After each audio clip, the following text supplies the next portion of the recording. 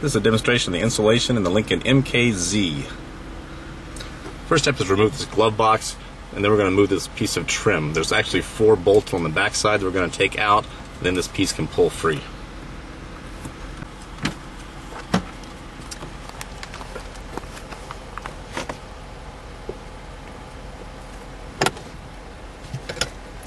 Remove the glove box dampener, just price free.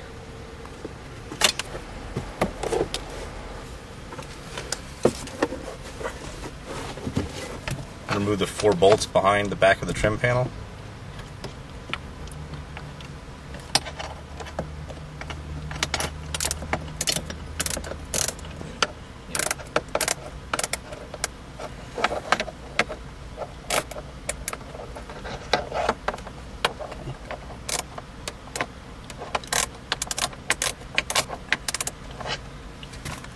Okay, with the bolts removed, now the piece can be pulled free. use a pry tool on the very end to get it started.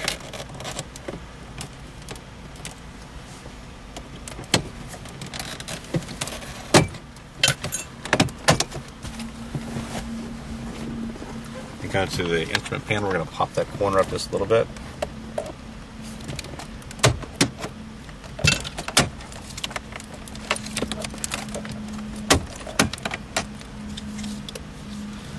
From the back side, you can visualize where the screws were at.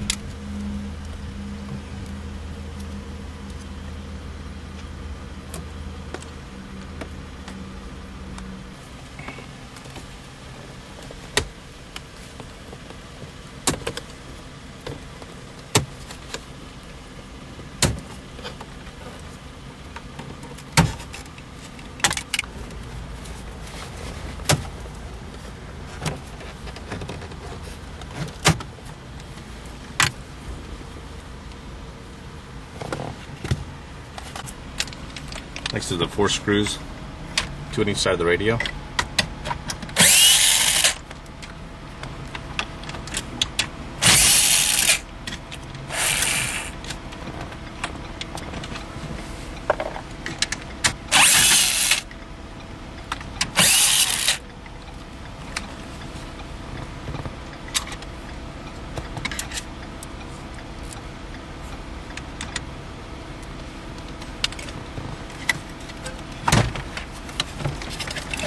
It pulls free to expose the connectors in the back.